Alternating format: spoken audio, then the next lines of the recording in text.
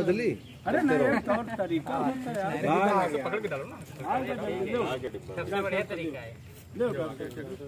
तरीका दो ना थोड़ा पानी डालना है। भैया तो हल लो पंद्रह सेकंड से वीडियो बनाओ तो मैं कुछ बात हुई कि वैसे पूछे वैसे वैसे कर